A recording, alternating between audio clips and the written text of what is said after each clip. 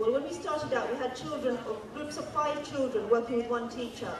Due to financial reasons, we've sort of grown and grown, and now we have two teachers working with 15 children.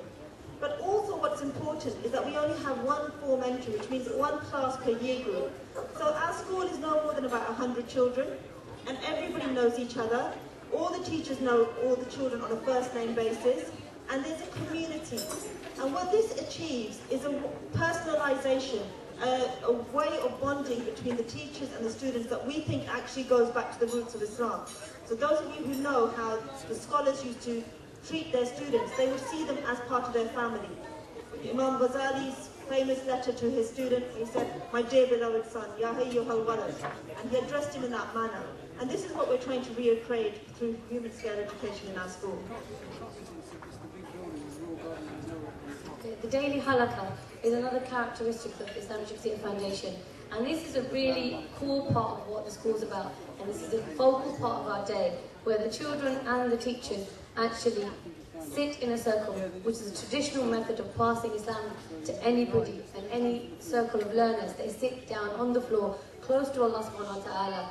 Um, and it's a time of bonding, understanding, spiritual um, reality of we are humbling ourselves in front of Allah, and this is where the core Islamic values are passed. And it's not through this um, you listen and I speak, it's actually a shared thing. The children and the pupils, um, sorry, the teachers actually um, are involved in a communication about Islam and they input into one another. Just the halaqah makes me think about how we as a community are actually making Islam available to non-Muslims because there's a lot of non-Muslim educators who we come into contact with on a daily basis. And when we tell them about halaqah, we tell them about the development of the children orally, they are wowed by this. And they come and see our children, and Ofsted, for example, have commented that our children are confident and able to express themselves and to think things through. And they said this is down to your halaqah. And this is really important because one thing I want to share with you is our school is not just about the Muslim community number of our children, they had non-Muslim grandparents. And our non-Muslim grandparents, and I would like to say a very special thank you to one particular family who have supported us right from the beginning, which is the Hamilton family. So we're talking about um, Veronica Hamilton, who is an auntie yes, to us. Yes, she is. And when we need her, she'll come in and clean up. Yeah. Because that's the best she can do. And it's, it's her about, school. It's, her, her school, as well. Her, her son, David Hamilton, who's not Muslim. Yep and you know, may Allah guide him and may Allah cure his eyesight because he has eyesight issues. He will come in and help. And her husband, uncle, I can't remember his name, will transport furniture for us. And I would like to say a special affair, a special thank you, and may Allah guide and reward these people because without them, and these are non-Muslims, our school would not be here today. So inshallah, the halaqah is something that we're seeking to take out to non-Muslim schools, and we're in discussion with various people about that at the moment. I think it's also a great strength of Shakhsiyah that the halaqah is at the root of what we do. It's very important.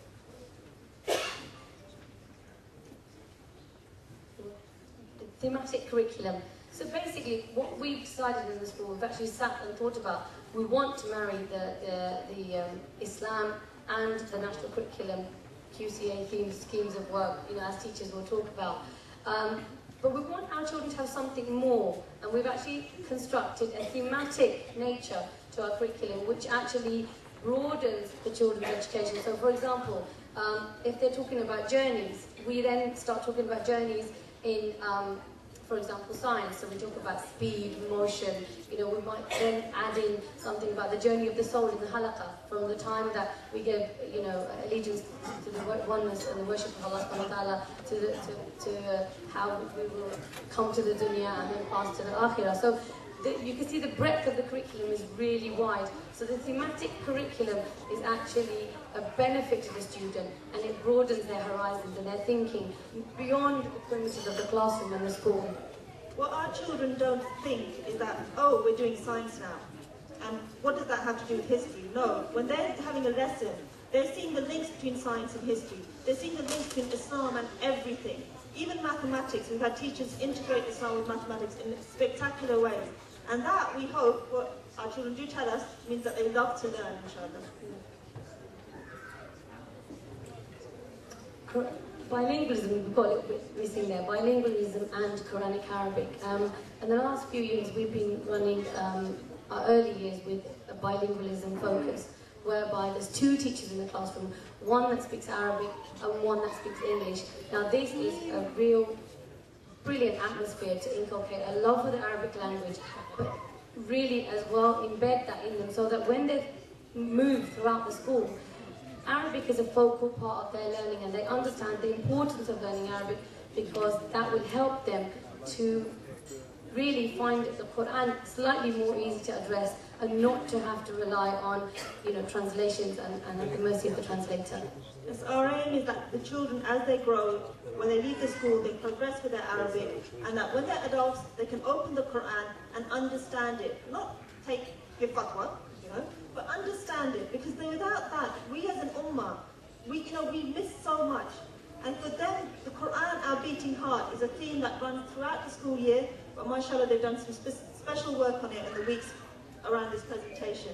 I just want to also add that the level of Arabic in our school teacher, Nadia is not here today, may Allah reward her and teacher Swad and Sheikh Adil and all the other Arabic teachers who've come in, because without their hard work, our children not, not, would not achieve what they achieve. And we've had 11-year-olds, 12-year-olds and 13-year-olds who've left our school and have achieved Arabic GCSE grade A star, and we're talking about non-Arabs here, inshallah. So we've got about 10, 15 children who start GCSE Arabic four or five years early and, and achieved grades from A star. Some got B's and C's, but mashallah, it's, it's an amazing achievement for them. Islamic teacher education. Um, alhamdulillah, something that you, we have to understand, we're building the students, then we need to also provide something for the, for the teachers. Um, and this is where we've actually put our heads together and thought, right, we need to provide some sort of a course for our staff and other Islamic um, schools. Um, this is whereby we actually um, Islamicize the teacher's practice. You know, you might come with a PGC or GTP or what have you, and then we really think and thrash out Islamic concepts of education and learning. You may not know that in Islam there's three words for education. Three, not one. There's tarbiyah, there's ta'lim, there's ta'dib. Each of these words you could write a PhD thesis on and more.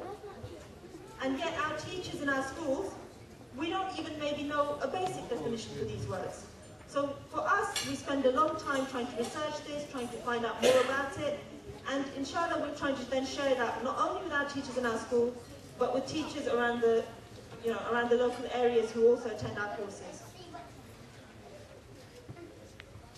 Learning for the and a love for learning. I think what we want our children to do when they leave our school is always want to seek knowledge. Um, and, you know, be readers, people who want to, you know, find out about, about the things that are happening around them. Um, and always want to, subhanAllah, read about Islam and, and understand that this they, they, they want to move forward and input back into the society um, and, and be people who are doers, because this is what Muslims are. Okay, the last one. Sorry if we've been boring you a little bit with educational business, but assessment for the learner. Okay, most of you will know, if you have children or grandchildren, how hard it is for your children at the age of a couple of years back, seven, and now 11, and have these SATs, where they're tested at such a young and early age. And it seems like such a pointless exercise, even to the parents. At our school, we don't believe in doing that. We believe that assessment should be for the learner. That if you're doing a test or you're trying to work out how much a child knows, what's the purpose of that? Is that to say, so-and-so is better than so-and-so, or this school is better than this school. No, it should be just for learning purposes.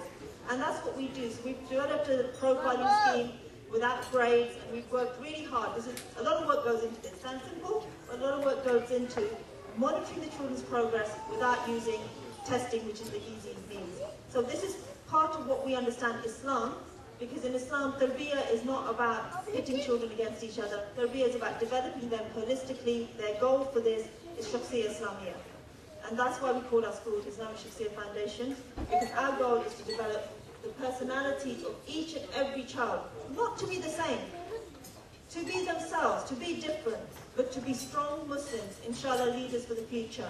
And that, I think, is where we leave off, and hopefully you'll see our children in action. So can we have the children from year six in the London branch, if they're ready, to come onto the stage?